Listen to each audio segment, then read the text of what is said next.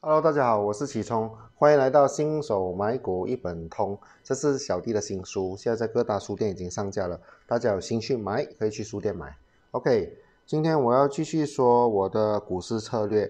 上一期我说的是顺势长线型的策略啊，我今天我要说下一个章节就是顺势短线型的策略。上次我说顺势长线，今天我依然是想顺势，不过我说短线。啊，有一点不一样。OK，我给大家再温习一下，什么叫做顺势？顺势就是呢，你的买卖策略呢是跟着这个股价共进退。怎样个共进退呢？就是当这个股价是处于上升趋势的时候，你就跟着买进；当这股价跌回下跌趋势的时候，你就跟着卖出。啊，就是这么简单吧？这个就叫做跟股价共进退。啊，OK，然后。呃，我之前说的是长线，长线就是你观察的股价天数比较长一点，大概就是六十天里面的股价，就是你要观察六十天内的股价变化。现在我说这个短线呢，它的观察的天数就比较短点，就是你要观察二十天内的股价变数，啊，就是呃二十天以外的你就不会看到太远了，你就看二十天内吧短线。我现在讲的就是短线，OK，然后呢，这个。短线呢，顺势短线呢，它的技术指标也有一点不一样啦，然后用的方法也不一样啦哈。OK，我一个个来说。OK，我第一个，我第一个建议用的这个技术指标就是 Stochastic RSI 啊。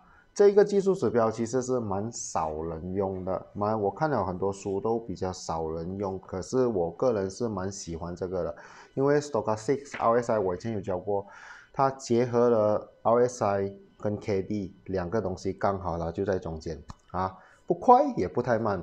RSI 对我来讲我觉得太慢了，真的太迟钝了，KD 对我来讲太快了，太敏感了。所以 Stochastic RSI 刚刚好在中间，很好用，我是觉得。你去用，我们大家都会有用 KOSE Screener 嘛？KOSE Screener 啊，它里面有几个指定的那个技术指标，其中一个就是 Stochastic RSI 很好用了啊。OK，大家可以去发现一下这个东西一下。OK，我讲第一个技术指标就是 Stochastic RSI，它的参数一样是十四天啊，没有必要去改它啦。OK，你唯一要改的就是。如果你一开始你打开 s t o c a s t i c RSI，你会看到两条线，一条线是在七十，呃，不是七十，一条线在八十以上，一条线在二十以下啊。你去改变这个参数，把它变成了八十跟二十的，啊改成五十一跟四十九，或者改成五十五十啊，就是变成中间一条线。本来上面一条线，下面一条线，你把它改成五十五十，或者是五十一四十九，变成中间一条线罢了啊，正中间一条线，OK，So。这正中间一条线呢，五十以上的就是上升趋势，五十以下的就是下跌趋势啊。然后它的应用方法很简单，就是当你看到这个 Stochastic RSI，它从四十九上去五十一的时候，就代表它从下跌趋势正在上升去上升趋势，这时候就是个买入点啊。当你看到它从五十一下跌去四十九的时候，这时候就代表它从上升趋势跌去下跌趋势，这就是一个卖出点。你就根据这个四十九上五十亿买，五十亿下四十九卖啊，这就是 Stochastic RSI 的用法，就这么简单啊。然后呢，第二个技术指标呢，第二个技术指标就是呃 KD，KD，KD，KD 呢，我会把它列入为第二个。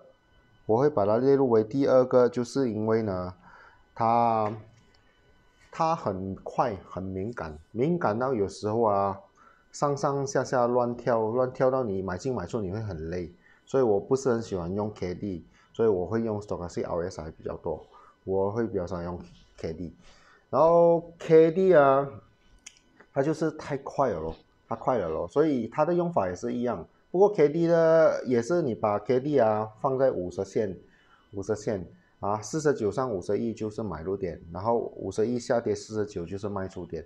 不过我个人我是不建议用 K D 啦，因为 K 虽然我放它第二，我不是很建议用 K D，因为 K D 太快太敏感了，还是用回 Stochastic R S I 会比较好。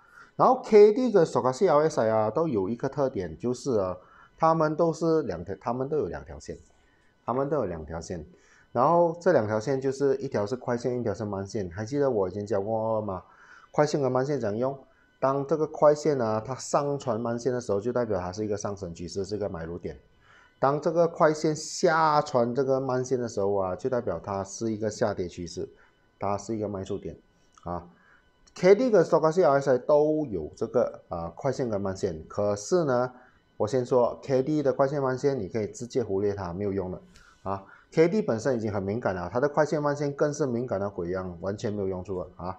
不过 Stochastic R S I 的快线跟慢线就有一点点参考价值啊，因为它比较慢，不过它有一点参考价值。不过它参考价值，如果你是用来顺势的话，你要小心用。就是我之前说。比如说你要一个买入点啊，就是四十九上去五十一的时候，四十九上去五十一的时候，你看，你看那个，如果它在四十九以下，接近四十九的时候啊，在下面的时候，你看到它快线如果是在慢线之上的话，就表示它其实已经开始进入上升趋势了，所以你不用死死要等到过五十了才买，你可以在四十九之前买都可以。你看它快线在慢线上面啊，一样道理。当你在五十以上，它虽然还没有跌下去四十九，你看到如果它快线是在慢线之下的话啦，就表示它已经进入啊下跌趋势了。你也可以提早在五十以上卖掉，啊，就是这样来用。可是你不要超过太远的地方，啊，你不要在七八十以上看到快线下来了你就卖啊，因为还会变化的。你要接近五十的才可以准啊。OK，然后第三个技术指标呢，呃，我会建议用 RSI 啊，RSI 虽然之前是用在长线，可是短线也是可以用。不过唯一的变化就是它的参数要变。如果你用在长线的话，它参数是十四天；如果你用在短线的话，你要把它的参数改成十天或者是五天，十天或是五天。然后一样也是以五十线为中间啊，它。